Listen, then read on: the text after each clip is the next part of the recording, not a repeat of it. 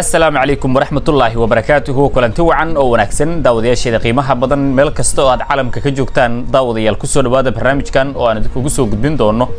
qodobo aad iyo aad xasaasi u ah. Sidoo kale daawadayaal qodobada aan barnaamijka ku eegi doono waxaa qayb ka noqonaya falanqayn aad iyo aad u xiiso badan. Barnaamijka qodobada aan idinkugu soo gudbin doono waxaa qayb ka noqonaya sida aynu la wada soconno ra'iisul wasaaraha soomaaliya xamse cabdi barre iyo wafdi uu hogaaminayo oo uu qayb ka yahay agaasimaha hay'adda nabad sugidda cabdulaahi maxamed cali sambalolshe ayaa gaaray magaalada baydhabo. Laakiin sambalolshe markii uu baydhabo tegay kadib waa uu ka soo hormaray ra'iisul wasaaraha oo muqdisho ayuu ku laabtay. Arrintaas oo ay dad badani ka keeneen warar kala duwan oo ay leeyihiin agaasimaha hay'adda nabad sugidda waxa uu magaalada baydhabo kala kulmay wejigabax sababay inuu dib u soo laabto haddaba daawadayaal arrintaas ayaan dib u eegi doonaa iyo waxyaabaha ka suurtagalka ah. Sheekooyinka ama sheegashooyinka ay dadka sheegayaan oo ay leeyihiin sambalolshe magaalada baydhabo wejigabax ayuu kala kulmay oo lafta garen ayaa diiday in uu la kulmo ama shirka ra'iisul wasaaraha uu la qaadanayo uu qeyb ka noqdo. Sidoo kale daawadayaal barnaamijka waxaan idinkugu soo gudbin doonaa haddii allah awoodda leh uu raalli ka noqdo. Odayaashii dhaqanka ee beelaha hawiye ayaa mar kale soo hadlay iyaga oo shir jiraa-id soo saaray haddaba daawadayaal iyaguna maxay sheegeen kadib safarkii ra'iisul wasaaraha ayay hadleen hadalkeeda muhiimadiisa ayaan barnaamijka idinkugu soo gudbin doonaa qodobada kale ee aad daawadayaal barnaamijkeena ku daawan doontaan waxaa qayb ka noqonaya warbaahintii dowladda oo ku biirtay dagaalkii siciidan iyo xasan sheekh maxamuud ama dowladda dhexe iyo maamulka puntland. Haddaba daawadayaal waxaan idiin soo gudbin doonaa arrin fadeexad ah oo ay warbaahinta qaranku samaysay taas oo ah in gebi ahaanba sawiradii siciid cabdulaahi deni laga saaray aanan lagu soo darin bogga rasmiga xilli la baahiyey kulankii ay ku kulmeen siciidani iyo sidoo kale axmed cabdikaariye qoorqoor magaalada gaalkacyo. Arrintan oo aad iyo aad dhaliilo kala duwan loogu jeediyay ayaan daawadayaal iyadana barnaamijka idinkugu soo gudbin doonaa haddii allah ugu diray uu raalli ka noqdo qodobadaas iyo wixii kale nagu soo kordha ayaad barnaamijka ku daawan doontaan iyo dowladda federaalka ah ee soomaaliya oo durba amar madaxweynaha uu bixiyey ku samaysay in saraakiisha ciidamada qalabka sida meel kastoo ay joogaan amar lagu siiyo inay heegan buuxa galaan xilli kasta oo loo baahdo maadaama etoobiya xilligan ay xadgudubyo waaweyn ay samaynayso iyadana daawadayaal barnaamijka ayaan ku eegi doonaa.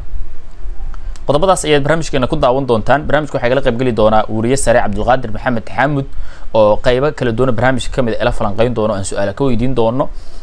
Waxaan idinkana idinka codsanayaa saaxib yaal inaad muuqaalka inoo qurxisaan oo aad ku soo biirtaan janalka labadii boqol ee kun iyo kontonkii. Wax yar ayaa nooga dhiman. Marka kontonka kun ee ka dhiman laba boqol iyo konton kun wax yar ee ka dhiman ayaan rabaa inaad buuxisaan. Marka qof kasta janalka ku soo biiro commentiga aragtiyadiina xor ayaad u tihiin. Qof kasta wixii fikirkiisa ah dhinaca commentiska ha noogu reebo. Soo dhawaada saaxib yaal marka hore waxaan soo dhaweynayaa wariye cabdulqaadir maxamed xaamud. Xaamud soo dhawow. Waa dhawaya cabdulaahi sida aynu la soconno waxaa dhowaan ra'iisul wasaaraha soomaaliya xamse cabdi barre uu u baxay magaalada baydhabo iyada oo wafdiga ballaaran uu wato waxaana wafdigiisa qayb ka ahaa cabdulaahi maxamed cali sambalolshe warar waxaa soo baxay in yacni sambalolshe wejigabax uu kala kulmay baydhabo uu lafta garan diiday in la hor fadhiisiiyo oo wafdiga ra'iisul wasaaraha shirka kala qaybgalaya uu qayb ka noqdo. Arrintaas ayaa baraha bulshada lagu baahiyey maxaa ka runa arrintaas? Cabdullahi waa mahadsan tahay dhammaan daawadayaasha kugu xiranna waa u mahad celinayaa intaas kadib shir guulaystay ayaa waxa uu ku soo gabagaboobay magaalada baydhaba shirkan waxa uu dhexeeya dabcan ra'iisul wasaare xamse cabdi barre oo ergey ka ah ama wakiil ka ah madaxweyne xasan sheekh maxamuud iyo madaxweynaha maamulka koonfur galbeed cabdicasiis laftagaren labada ninba shirkii ay ku yeelanayeen xarunta madaxtooyada koonfur galbeed waxaa loo diiday ayaa dadku badi lahaayeen agaasimaha hay'adda nabad sugidda iyo sirdoonka qaranka cabdilaahi sambalolshe laakiin xogaha qaar ee haatan soo kordhaya ee cabdulaahi aan helayno islamarkaasina dadka qaar ay noo xaqiijinayaan waxay sheegayaan in agaasime cabdulaahi sambalolshe shirkaas isaga markii horeba uu ka cudur daartay islamarkaasina hoolo adag ay u yeelayn oo hay'adda nabad sugidda ee uu hogaamiyo hoolo adag oo ku horgudbanaa islamarkaasina shaqooyin uu lahaa awgeed uu dib ugu soo laabtay magaalada muqdisho ee caasimadda soomaaliya. Isagana waxaa la werinayaa shirka in uu ka cudur daartay maadaama hoolo baaxad leh hay'adda nisa ee u tiilay muqdisho ayuu yimid. Dabcan hoolihiisii ayuu anba qaaday. Ujeedka ugu weyn ee laft cabdillahi sambaloshe u tegayna baydhaba ma ahayn in uu ka qayb galo kulanka dhex maraya ra'iisul wasaare xamse iyo sidoo kale madaxweynaha koonfur galbeed cabdicasiis laftagren maadaama kulankaas uu ahaa kulan laba geesood ah oo laba dhinac ah oo xamse oo wakiilka madaxweyne xasan iyo laftagareen labadaba ay qaadanayeen. Marka waxa uu ahaa wafdi wafdiga ra'iisul wasaaraha keliya ayuu ku jiray miyaa leedahay? Wafdiga ra'iisul wasaaraha keliya ayuu ku jiray oo cabdullaahi sambalolshe ra'iisul wasaaraha ayuu waxa uu keenayey magaalada baydhaba. Halkaas xitaa waxaa lagu soo bandhigay cabdullahi sida aad sawirada ka arki karto markii uu tegaya ra'iisul wasaare xamse ciidamo badan oo koofiye casta madaxtooyada ah iyo sidoo kale ciidamo ka tirsan hay'adda nabad sugidda marka maadaama qalqal amni laga dareemi karayo gudaha magaalada baydhaba halkaasina cabsi ay ka jirtay maadaama ciidamo etoobiyaana ay ku sugan yihiin oo haddana soomaaliya iyo etoobiya ay u dhexayso xiisad ama xurguf siyaasadeed oo ka dhalatay is-afgaradkii somalilan iyo etoobiya ku kala sixdeen magaalada adis ababa. Taas ayaa waxa ay keentay ayaa la leeyahay in ra'iisul wasaaraha iyadoo amnigiisa laga fikirayo in ciidamo halkaasi ay geeyaan. Agaasimaha niza isagu arrimo siyaasadeed shaqo kuma lahan dabcan sidaad ka warayso arrimaha amniga keliya ayuu u xil saaran yahay. Marka ma jirin ayaa la leeyahay ilaa hadda aan helaynuna waxay xaqiijinayaan in cabdillaahi sambalolshe aanan looga baahnayn kulamada noocaas oo kale ah ama kulamada ay qaadanayaan madaxda maadaama ay yihiin kuwa siyaasadeed oo arrimo siyaasadeed kulankii lafta gareen iyo sidoo kale ra'iisul wasaare xamse uu daarnaa marka cabdillaahi dadka badi wax badan bay isla dhex marayaan laakiin xaqiiqada dhabta ah ayaa waxaa la leeyahay wata oo arrintaas ayay xaqiiqadu tahay. Cabdillaahi sambalolshana ninkaas hadda aad arkayso waxa uu bedelay agaasimaha niza ninkii ku magacawnaa mahad maxamed salaad oo markaan ah musharax madaxweyne oo u taagan xilka madaxtinimo ee maamulka galmudug. Sidoo kale cabdillaahi sambalolshe waa nin aad ugu dhow saaxiib dhowna la ah madaxweynaha soomaaliya xasan sheekh maxamuud. Marka cabdillaahi warkii oo kooban iyo xaqiiqada saxda ah ee laga xusi karo cabdillaahi sambalolshe iyo dib ugu soo laabashadiisa magaalada muqdisho waxa ay tahay uun in kulankii lafta gareen iyo sidoo kale ra'iisul wasaare xamse uu ahaa kulan siyaasadeed isagana arrimo amni uu u xil saaran yahay. Dibna uu ugu soo laabtay caasimadda si shaqooyinka hor yaalla hay'adda niza u amba qaado iyo si howlahaas ugu dhaqaajiyo. Aada u mahadsan tahay dhinaca kale daawadayaashu wixii aragtiyadooda ah ee qodobkaas commentiska ayay inoogu reebi karaan. Dhinaca kale markaan eegno waxaa jira waxaa jira in khilaafkii dowladda dhexe iyo maamulka puntland uu mar kale soo laba kacleeyey markaana ay warbaahintii qaranka qayb ka noqotay sida la leeyahay. Warbaahinta qaranku waxay samaysay kulankii ka dhacay magaalada gaalkacyo sawiro meeshaas laga soo qaaday qaar badan oo ka mid a waxaa leeyahay lagu baahiyey warbaahinta qaranka inkastoo markii dambe laga saaray oo haddana sawiro kale la soo geliyay oo saciidani ku jiro sawiradii hore saciidani kuma jirin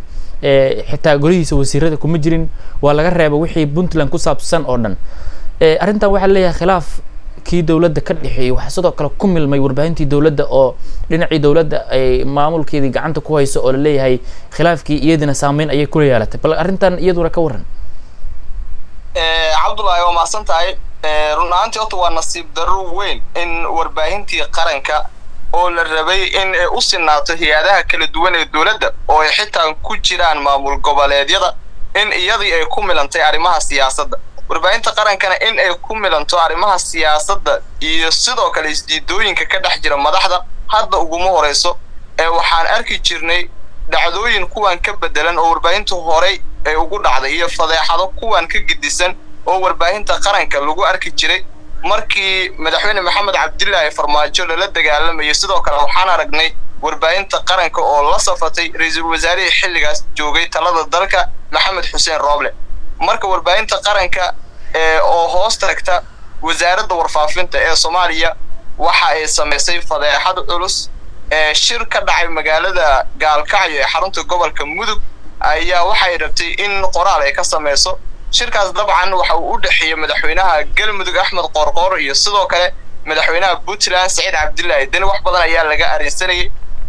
qoraallo ayay soo daabacday. Warbaahintii dhammeyd ee qarankana sooma qaadan. Sawiradii saciid deni iyo sidoo kale wasiiradiisii tani waxaa la leeyahay waa jug kale oo gaartay maamulka puntland. Oo haddana sii fogeyn karta xiisadda u dhexaysa puntland iyo sidoo kale dowladda federaalka soomaaliya madaxweyne xasan sheekh maxamuud markii loo magacaabay mar labaad talada dalka shan iyo tobankii may labada kun labaiyo labaatan waxyaabihii uu wajahay waxaa ka mid a in puntland uu waayey durbadiiba oo ra'iisul wasaare markii loo diiday saciid cabdilaahi deni uu ka furtay dowladda dhexe. Sidoo kalena uu xasan u sheegay runta weliba la wadaagay inuusan la shaqayn karin. Marka puntland dhowr jeer waxay ka maqneed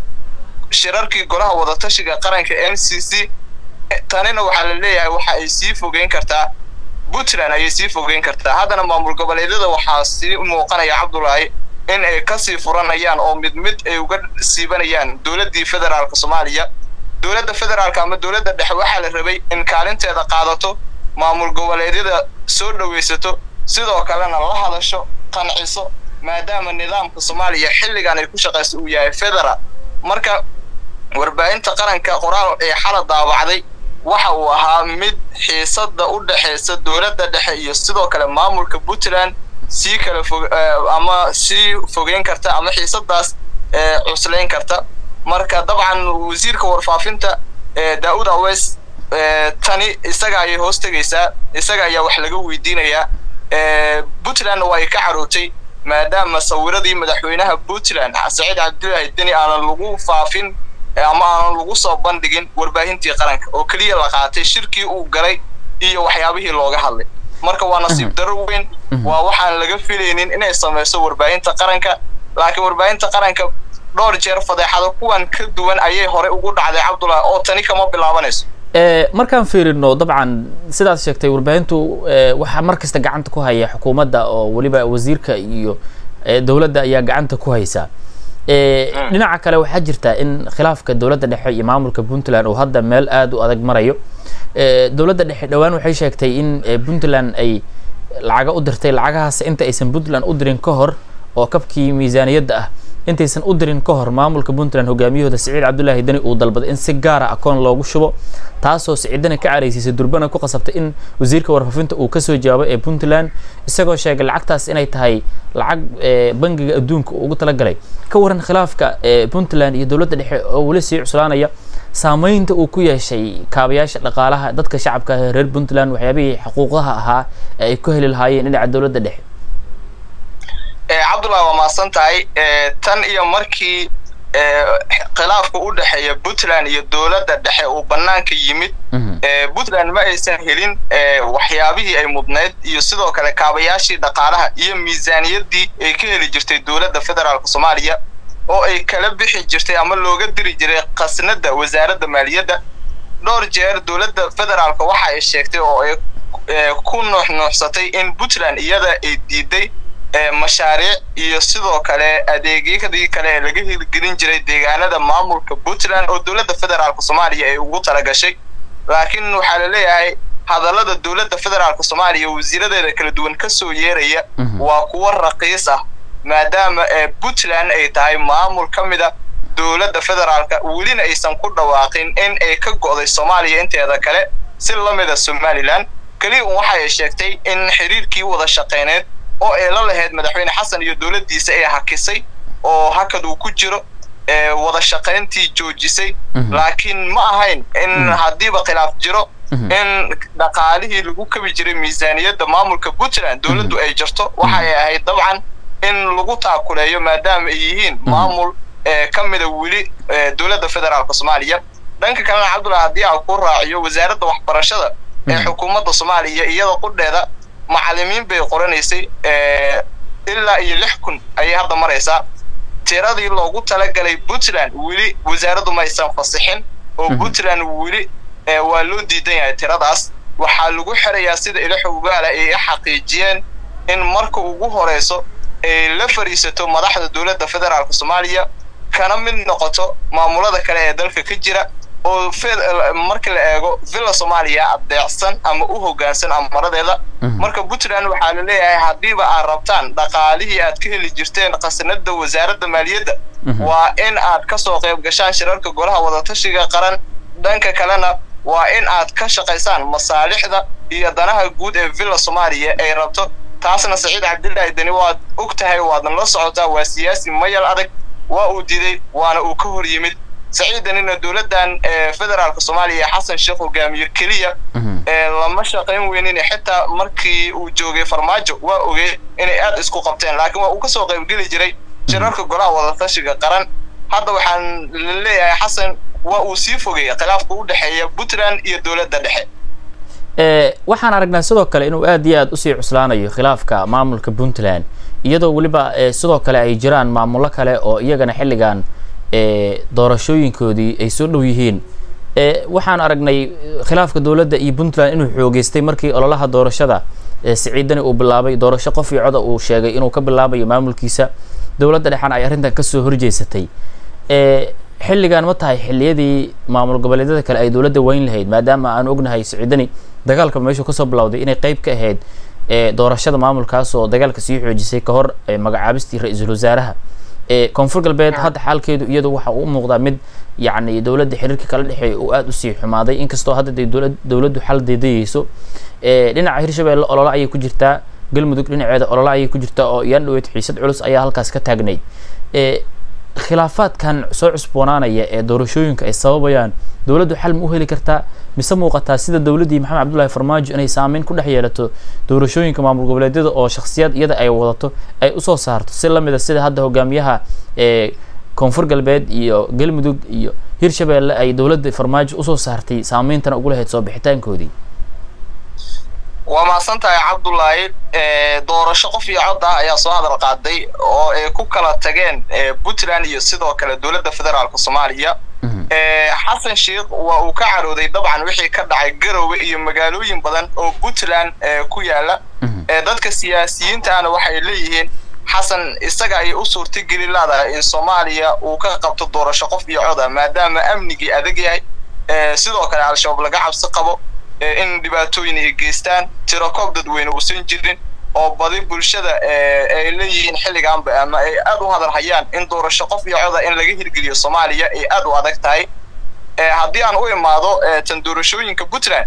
waxaa badi dadka siyaasiyiinta ay leeyihiin dowladda federaalka soomaaliya waa in ay ka tusaale qaadataa wixii ka dhacay magaalooyin badan oo puntland ku yaalla oo doorashooyinka qof iyo codka ay halkaasi laga hirgeliyo waa in ay cashar ka barataa marka waxay ahayd in puntland loogu hambaliyeeyo sidoo kalena wixii ay samaysay lagu abaalmaryo ayay ahayd dabcan maadaama deegaano nabdoon ay ka qabatay doorasho qof iyo cod ah tan ah in dowladda madaxweyne xasan sheekh maxamuud ay geysan karto iyo in kale maamul goboleedyada madax daacad u ah waa wax jira waa wax meesha ku jira. Hadda koonfur galbeed oo kale waxaa loo wadaa xuseen sheekh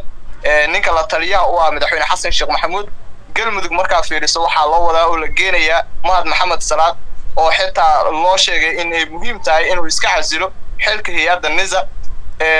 hirshabelle doorashadeeda weli wax baa ka dhiman. Jubbaland waxaa xoog ku haysta axmed madoobe oo laga fujin lahayaa kursiga madaxtinimo ee maamulka jubbaland oo muddo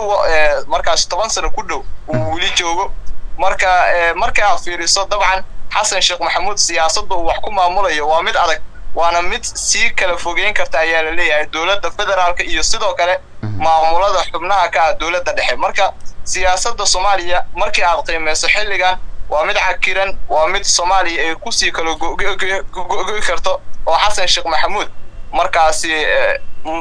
isagii ayaaba ku jahwareersan waxa soomaaliya ka dhacaya marka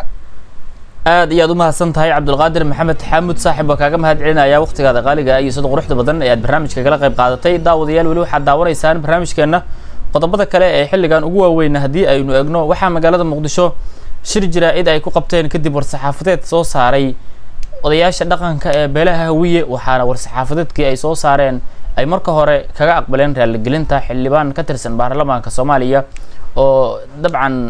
xildhibaan yuusuf geele lagu magacaabo. Xildhibaanada ayaana waxa ay sheegeen inay raaligelinta ka aqbaleen iyagoo sheegay in xildhibaanku uu yahay xildhibaankoodii ayagana ay yihiin odayaashooda dhinaca kala daawadayaal haddii aynu eegno ugu dambeyntii doorashooyinkii somalilan ayaa waxaa ka soo bardhay ama ka soo kordhay war cusub kaasoo ah in shahaadooyinka la siiyey saddex xisbi oo kale ah kulmiye wadani iyo sidoo kale ucud waxaana shahaadooyinka u kala qaatay cabdiraxmaan maxamed cabdulaahi ciro oo ah xisbiga wadani sidoo kale kulmiye waxa u qaatay hogaamiyaha maamulka somalilan muuse biixi cabdi halka sidoo kale ucud oo qaatay faysal cali waraabe. Saddexdaas xisbi ayaana iyagu shahaadooyinka musharaxnimo helay doorashada oo la rajeynaya inay bisha november dhacdo waxaana hadda bilaabanaya ololihii doorashada ee maamulka somalilan laba sano oo hore ayay baaqatay doorashada iyadoo baaqashooyinkii isxigay ama labadii sane ee la soo dhaafay ee doorashadu baaqatay. Dabcan xaalado siyaasadeed oo somalilan ka jiray ay dartood ay u baaqatay ugu dambeynna hadda ayaa la rajeynayaa inay dhacdo doorasho taasoo dadka reer somalilan intooda badan ay u diyaargaroobeen daawadayaashana qiimaha badan guud ahaan barnaamijkeenii ayaan jeclahay inaan intaas ku soo gabagabeeyo. Intuu barnaamijku socday anigu cabdillahi daacad ayaa la socodsiinayay saaxiibka yuuriya yuusuf waa dabcan xaamud ayaa igala qayb galay barnaamijkan mid la mid inta ku kulmi doona saaxib yaal waxaan udu leenahay nabadgelyo. Asalaamu calaykum waraxmatullaahi wabarakaatu